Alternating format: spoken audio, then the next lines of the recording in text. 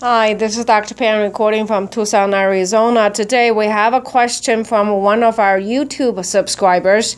Let's do a quick analysis and see how we go about solving this one. To send your own questions, please consider subscribing our channel. The analysis goes something like this. When two lines are perpendicular to each other as we're given, and uh, their slope, the product of their slope should be minus 1. Notice this minus sign.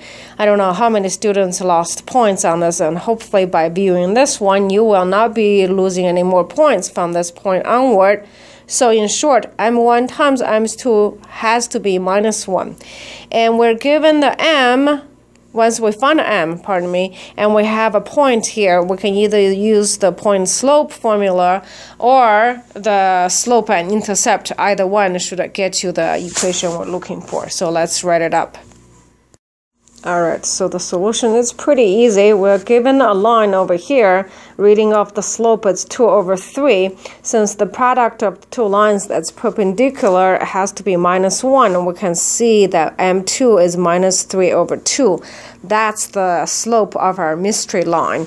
This line L2 has slope of minus 3 over 2 and it's passing through this point we were given back over here. So we can find B by substituting the two points for 2, actually the point for 2, into the y equal to mx plus b and I have a pretty simple equation then 2 is equal to, here's x times 4, 4 is x over here, and then here's my slope, and b is the variable. Uh, solving for this one, b equal to 8.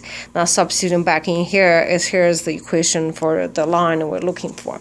Well, I hope this helps. Hi, this is Dr. Pan recording from Tucson, Arizona. Please comment, share, or like this video. Together we can make math easy again. Have a confident day.